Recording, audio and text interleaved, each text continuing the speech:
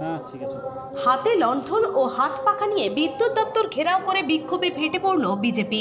আজ ঘটনাটি ঘটেছে বাঁকুড়ার ওন্দায়। এদিন দুপুরে ওন্দা রেল স্টেশন সংলগ্ন মাঠে প্রথমে বিজেপির দলীয় কর্মী সমর্থকেরা জমায়েত হন।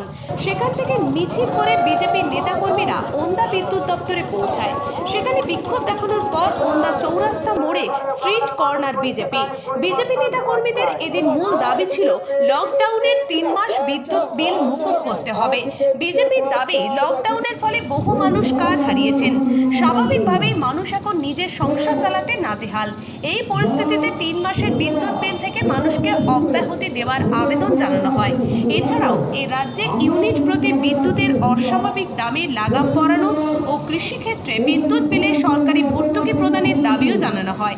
এদিনের মিছিল ও বিক্ষোভ কর্মসূচিতে বিজেপির দলীয় কর্মী সমর্থকদের একটা বড় অংশ হাতে বিষ্ণুপুরী লণ্ঠন ও হাত পাখা নিয়ে সামিল হওয়ায় বিক্ষোভ কর্মসূচি আলাদা মাত্রা নেয়।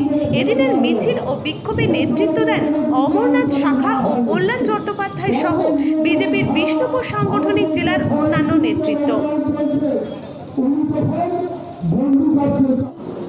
ইলেকট্রিক অফিসে ভারতীয় জনতা পার্টির পক্ষ থেকে আজকে একটা গণ ডেপুটেশন ছিল। সেই ডেপুটেশনের মূল কারণ যে অস্বাভাবিক পশ্চিমবাংলাতে ইলেকট্রিকের মাসুল বৃদ্ধি, যেটা সেটা ভারতবর্ষে আর কোথাও নেই। আর কি দেখছি? যে রিডিং না নিয়ে রিডিং না নিয়ে যেভাবে বিভিন্ন বাড়িতে ইলেকট্রিকের বিল পাঠিয়ে দেওয়া হচ্ছে, সেটা একটা হাস্যপদ ব্যাপার। তার সাথে সাথে এই যে মহামারী করোনাতে মাননীয় নরেন্দ্র মোদী যে সারা ভারতবর্ষের মানুষের জন্য যা যা কিছু সহযোগিতা করছেন আমরা এই মুখ্যমন্ত্রীর কাছে আবেদন করব যে আগামী ছ মাস যেন ইলেকট্রিকের বিল মুকুব করা হয় ঠিক আছে?